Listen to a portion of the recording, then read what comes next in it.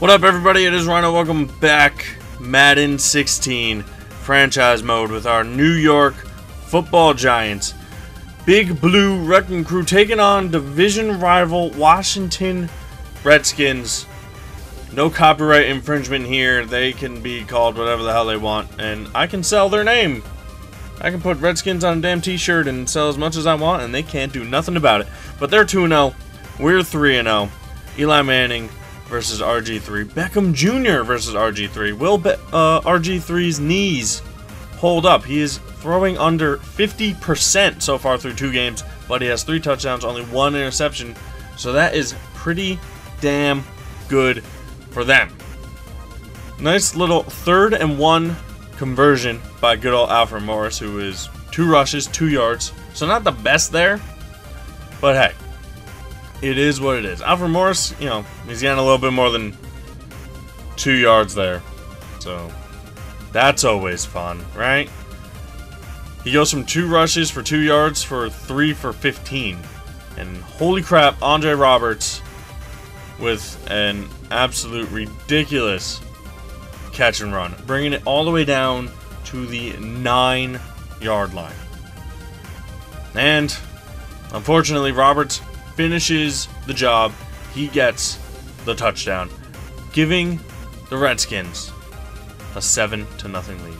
I don't know who the hell he's pointing at, what the hell he's doing. Zero team celebration. They don't even care. Let Roberts do his thing.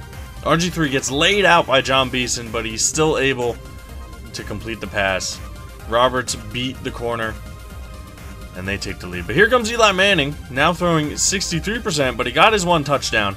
Still no in no interceptions, which is great news for Eli. What's not great news for Eli is on third and 13, he goes down. And that forces a three and out. So not only did the Redskins just drive down the field, but they're going right back on offense. They then go three and out, and the Giants are Giants are having some freaking tough times here. Second quarter, third and twelve, offense just can't get rolling. Donnell with a drop, and that causes another three and out. So the Giants have had two drives as we are into the second quarter. Two drives, two three and outs. And Alfred Morris is just taking no freaking prisoners. That is a 11 or 12 yard run. He now has six rushes for 32 yards. He's averaging over five yards a carry.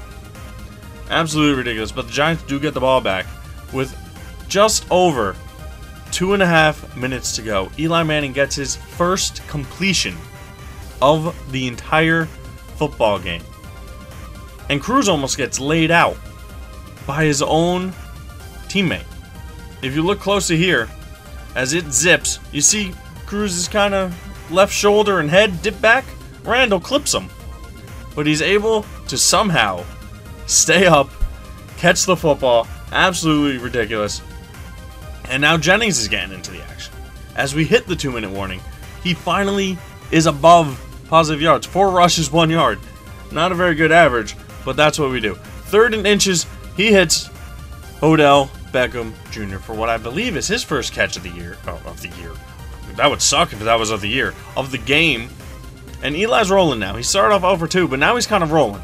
He hits Donnell here, who makes a catch. I don't know how he couldn't make the one earlier, but yet he makes that one. But whatever. It is what it is. You can't win them all. And they just leave Beckham wide open here. So that's a nice little pitch and catch. First down. And uh, Eli has now completed five in a row. And will it be even more? Oh, it will, because there is a crossing route for Victor Cruz getting the touchdown, and you know what that means. Where is it? Oh, there it is. Oh, it's salsa time, baby. Touchdown, Giants pride. All right. I don't really say I don't really know the point of Giants pride. I didn't realize that was a thing, but apparently it is. As we see Cruz, he just beats the corner. You weren't catching him, and that brings us to halftime, tied at seven. Jennings gets the ball here. He breaks one tackle. He plows through. He breaks a second tackle. He breaks a third and kind of a fourth. 52 kind of just pushed him. He didn't really he didn't really try to tackle there. But whatever. You don't want to try and tackle, man. You don't want to try and tackle. It's not my fault. But we go deep, and Donnell just runs a perfect route, A perfect throw. Eli has now completed seven passes in a row after starting off 0 for 2. And Donnell wide open in the seam. You can't leave Donnell open in the seam. I'm going to hit him all day, every friggin' day. He now has 50 yards.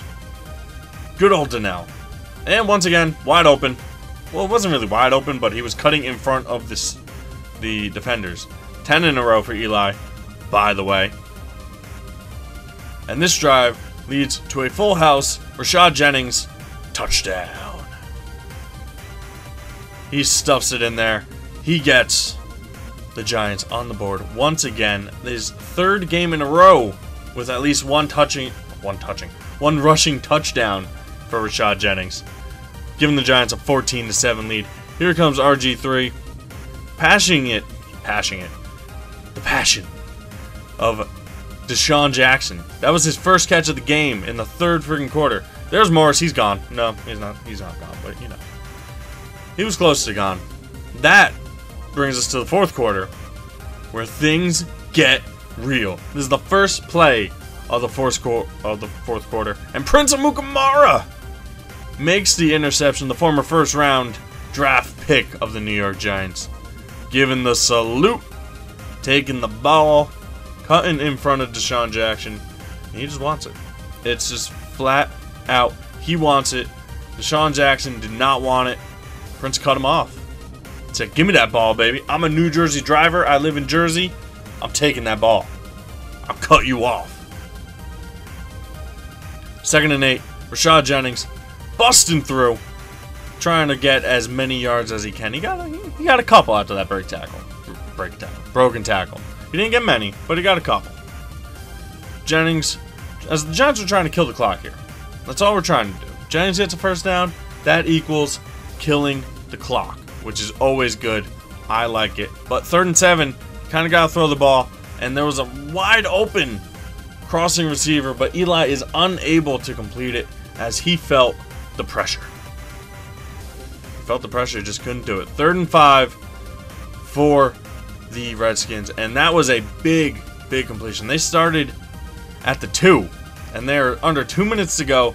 That is Garcon's first reception of the game. But the Giants, they're holding tight. They're holding tight. Just under a minute and a half to go. Great coverage there on Garcon, not letting him get his second reception of the game. And for some reason, they decide to run on third and 10. What are you doing? What is going on here? I don't get it. But on fourth and five, obviously they have to go for it. It was fourth and five because of a uh, neutral zone infraction on uh, on me. But DeSean Jackson, they got the conversion. Second and six. RG3 just has plenty of time, kind of just lobs it in there. And they make the catch. They're able to get it. Andre Reed making the catch for the Redskins. And deep down the seam is Kerrigan. He makes the catch all the way down to the six. Half a minute to go. The Giants' lead is in danger here. And there we go. They get a sack. 23 seconds to go. They are able to sack Robert Griffin III. The penalty was a hold. They decide to decline it to make it third down. Don't give them any extra downs. And their hopes and dreams are just shattered as RG3 throws a perfect ball to Pierre Garcon. Dominique Rodgers-Cromartie could do nothing. It was just a perfect, perfect pass. Amazing catch. It looks close.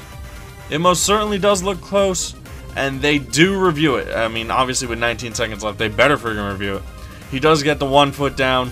He drags the second foot. It is a clear-cut, good touchdown, tying the game at 14. Last play of the game, the Giants go deep. And Cruz makes the catch, but it is not deep enough as we head to overtime. Tied at 14. The Giants win the toss. Odell Beckham Jr. is wide open.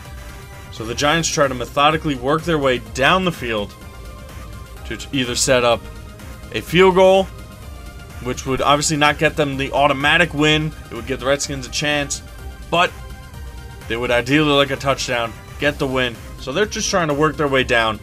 Big third down here. Rueben Randle makes a huge catch with a defender all freaking over him. He is able to come up with that ball. Eli Manning is now over 200 yards. Victor Cruz is just an amazing slot receiver. He's so good. He's able to beat his defender, gain some yards, cause a third and one. They don't do anything on that, and for some reason, they go for it on fourth and one. Herm, this is the Herm Edwards moment of the week. What do you think of that? You play to win the game. Thank you, Herm, very much. And later, two plays later, they go for it. They get it. They get the touchdown. Victor Cruz, Eli Manning passes it into the corner. Cruz makes the touchdown catch. And that's it. Just like that, the Giants play to win the game. They do win the game. They move to 3 0, beating their rival, Washington Redskins. And guys, that is where we end this episode. Thank you very much for watching. I sure hope you enjoyed. Remember, leave a like, leave a comment, subscribe if you guys want to see more, and I will see you next time. Peace.